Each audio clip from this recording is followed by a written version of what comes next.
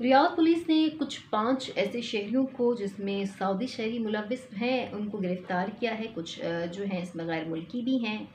और ज़्यादातर इसमें सऊदी शहरी हैं, जो सादा लोग इंसानों को सोशल मीडिया पर एक जाली ऐड की सूरत बेवकूफ़ बना रहे थे। ये ऐड किस चीज़ का ये ऐड मनी एक्सचेंज का है। यानी वो लोगों को करेंसी एक्सचेंज से कम कीमत पर फ़रोख करने का इश्तहार उन्होंने दे रखा था और इस सिलसिले में वो लोगों से जो पैसे हैं वो बटोर बटोर रहे थे।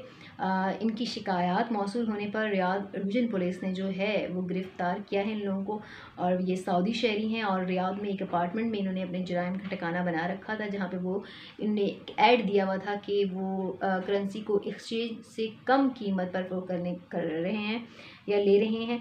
तो एस, इस ग्रुप को जो है वो गिरफ़्तार कर लिया गया। बिलाखिर और उनसे बहुत सारी मुल्की जाली करेंसियाँ भी जब्त की गई हैं।